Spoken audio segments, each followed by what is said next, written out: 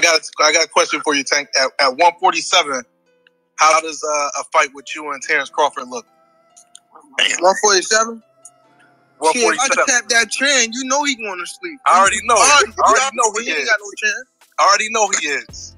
Said no chance. I hey, I got round five. Shit, I got round six. I, I, we, we'll go with that. I'm gonna put my money around six. What's good, YouTube? It's your boy KB with Jus Due Boxing back with another video. And man, today makes one year old that I've had this channel, man. So I just want to say big salute, big shout out to everybody that's been supporting the channel and, and supporting the TWT family.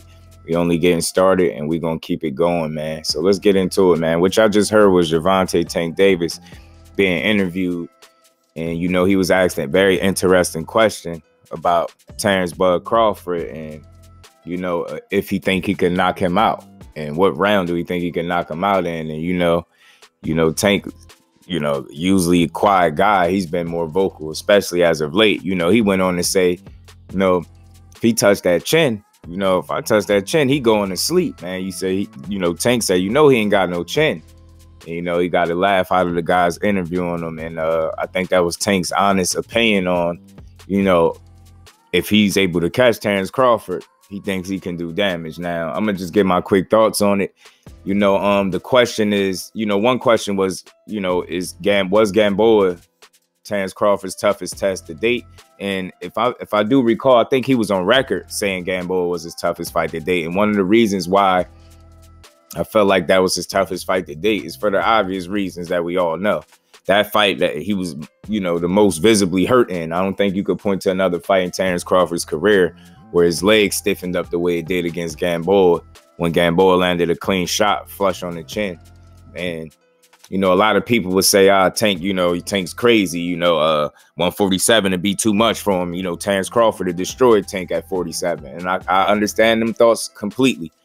But again, pay attention to the question. The question is, you know, do we think he can knock Crawford out? And he said if he catches him, he feels like he can put him to sleep. Now, can he knock him out and will he knock him out? It's two different things. You get what I'm saying? Can he knock him out? If he catch Terence Crawford flush on the chin, absolutely, I think he can knock him out. You know what I mean? I don't care what weight it's at. You get what I'm saying? Even if it's at 147. Now, I'm not saying that he gonna just go up to 147 and knock, you know, Crawford out in six rounds, how the guys were joking about in the video. But what I am saying is can he knock somebody out and will he knock somebody out? Two different things. Tank has the power definitely to knock out a 147 pounder if we know for a fact that he's parked heavyweights in the gym and put heavyweights on their back pockets.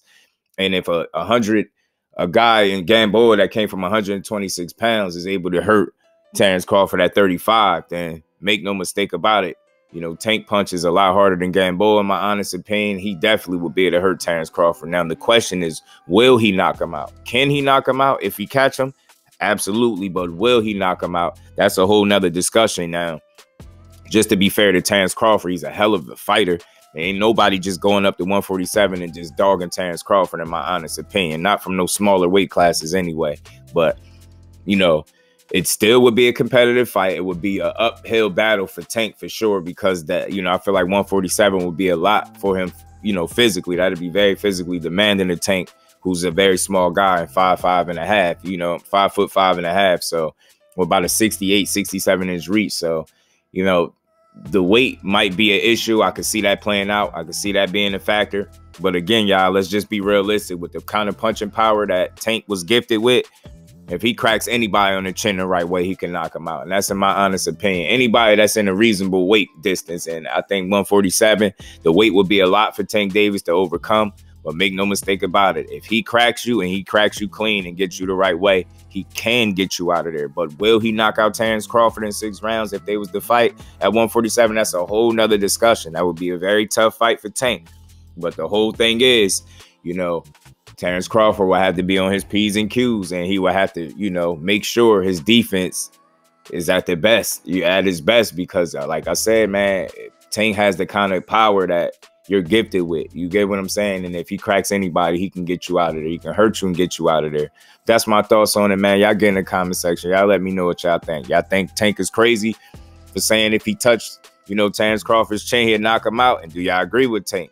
You know what I'm saying? Do y'all feel like Terence Crawford don't got a chin? Do you feel like his chin is suspect? And as always, man, get in that comment section.